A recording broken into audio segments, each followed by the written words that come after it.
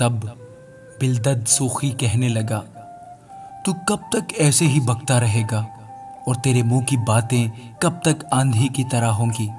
क्या खुदा बेइंसाफी करता है? क्या कादिर मुतलिक अदल का खून करता है? अगर तेरे फर्जंदों ने उसका गुनाह किया है और उसने उन्हें उन्हीं की ख़ता के हवाले कर दिया तो भी अगर तू खुदा को खूब ढूंढता और कादर मुतलिक के हजूर मिन्नत करता तो अगर तू पाक दिल और रास्तबाज होता तो वह ज़रूर अब तक तेरे लिए बेदार हो जाता और तेरी रास्तबाजी के मस्कन को बरोमंद करता। अगरचा तेरा आगाज़ छोटा सा था तो भी तेरा अंजाम बहुत बड़ा होता। ज़रा पिछले ज़माना के लोगों से पूछ और जो कुछ उनके बाप दादा ने तहकीक की है, उस पर ध्यान कर, क्योंकि हम तो कल के हैं और कुछ नहीं जानते और हमारे दिन ज़मीन पर साया की मानद हैं। क्या वो तुझे ना सिखाएँगे और ना बताएँगे और अपने दिल की बातें नहीं करेंगे? क्या नागर मुता बगैर कीचड़ के उग सकता है? क्या सरकंडा बगैर पानी के बढ़ सकता है? जब वो हरा ही है और काटा भी नहीं गया तो भी और पौधों से पहले सूख जाता है।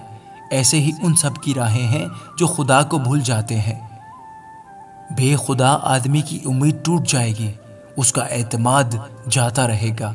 और उसका भरोसा मकड़ी का जाला है। वो अपने घर पर टेक लगाएगा, लेकिन वो खड़ा ना रहेगा।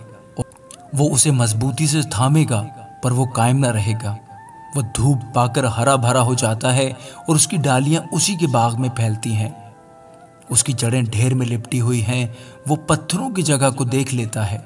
अगर वो अपनी जगह से नेस्त किया जाए तो वो उसका इनकार करके कहने लगेगी कि मैंने तुझे देखा ही नहीं।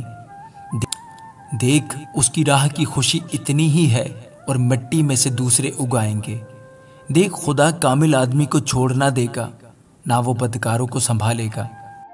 वो अब भी तेरे मुँह को हँसी से भर देगा और तेरे लबों को ललकार की आवाज़ से। तेरे नफरत करने वाले शर्म का जामा पहनेंगे और शरीरों का डेरा कायम ना रहेगा। आमीन।